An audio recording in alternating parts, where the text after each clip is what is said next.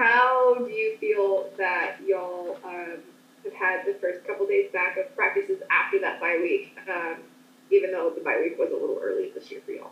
Yeah, I think we feel fresh. Um, thought we had a great practice today.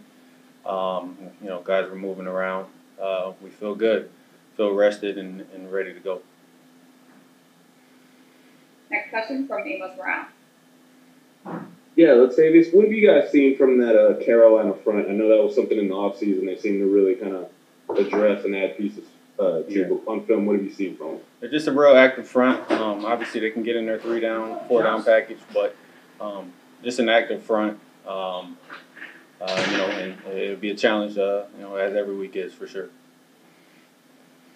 Next question from Luke Johnson.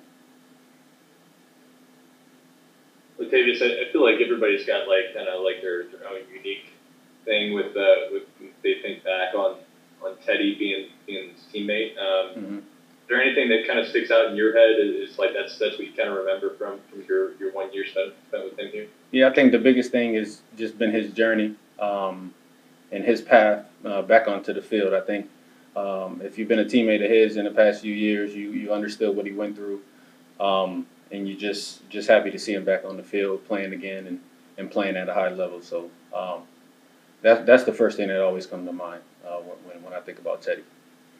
He was saying that like this is kind of like the place where he like almost rediscovered how to like find joy in football again. Yeah. Like, like could you see that like Yeah. play out when he was on the field? Yeah, well, um, he, and, he and I were both in Minnesota, um, but I think you know it's it's, a, it's definitely a different culture here, and and I think uh, the culture really embraced him, and he embraced it as well. So um, seeing him having fun um, in the locker room, out there on the field, um, that's that's what it's all about. That's that's that's why we all play the game. Um, so again, I'm just very happy for him and and what he's able to you know been able to accomplish, and, and again him coming back from the injury he came. Next one from Amie Just. Yeah, Ty Montgomery's working his way back um, from IR's practice the past couple days. Um, what have you seen from him and just like being able to be around y'all again? Can can you repeat the name? I'm sorry. Ty Montgomery, sorry. Oh, Ty Montgomery. Yeah. Um. Obviously, Ty is a, a playmaker, and he can play. Uh, you know, two positions. He's done it, and uh, so just to see him back on the field, uh, healthy, running around. Um, you know, hopefully we get him involved because we, you know, we all know he's a playmaker in this building. Next one's from Luke Johnson. Where do you feel like y'all are at offensively right now? Like, you- are you happy with where you're at? Do you think there's there's like areas you really need to improve?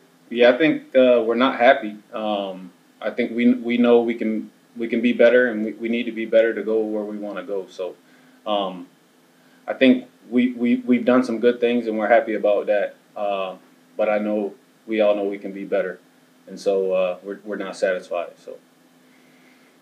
Is there anything like I don't I don't want to get into like you know game planning or anything like that. Is, is there any like specific area where, where you can say just like like look this is something that we have to improve if we want to get to where we want to be? No, I wouldn't say anything specific. I just think, as a whole, um, you know, uh, all around, uh, we we just got to play better.